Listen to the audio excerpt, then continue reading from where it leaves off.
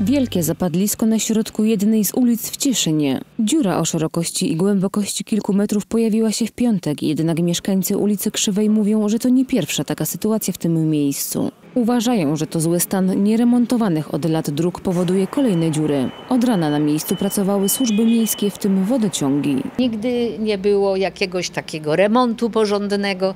Raz strzelił jeden hydrant, drugi raz strzelił drugi hydrant i to tak się łatało. Nigdy nie było jakiegoś generalnego planu y, wy, wymiany, porządnej wymiany.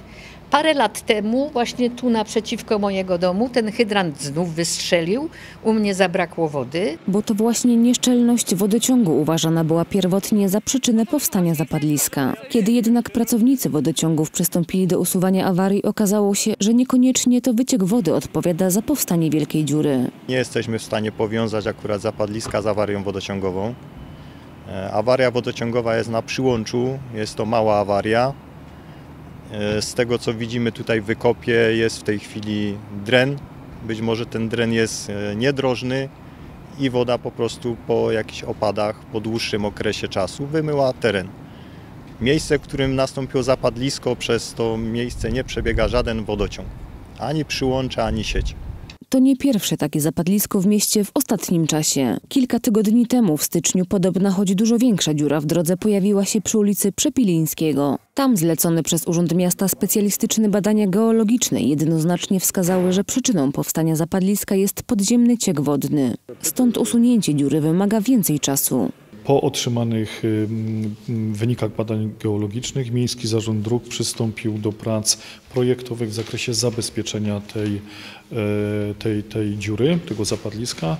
E, I tutaj prace nad tym mogą potrwać jeszcze kilka e, tygodni, bo musi tutaj być wykonana dokumentacja projektowa, musi być na pewno e, wprowadzony wstępnie zakładamy drenaż odprowadzający ten, e, ten podziemny ciek wodny do e, kanalizacji ogólnospławnej w rejonie ulicy Przepilińskiego. której mieszkańcy skarżą się na spore niedogodności związane z brakiem możliwości przejazdu. Obawiają się, że powstaną kolejne zapadliska, co spowoduje długotrwałe zamknięcie ulicy na całej jej długości, a to w konsekwencji spowoduje konieczność poruszania się wyłącznie pieszo. Dlatego apelują do władz o szybką reakcję, tym bardziej, że nie wszyscy kierowcy przestrzegają zakazu wjazdu. Ja mogę chodzić, ja mam dopiero ponad 60 lat, ale moja mamusia na przykład tutaj piechotą nie dojdzie. No nie wiem, co będziemy robić. E, Niektórzy sobie tak tą barierkę odsuwają po to, żeby tylko do fikołka dzieci podwieźć. Rozumiemy to, ale można podjechać bokiem powstańców i można podjechać. A jeżeli się tutaj e, tak będzie jeździło, jeździło się to zapadnie, to w tym momencie no my po prostu mieszkańcy jesteśmy uwięzieni.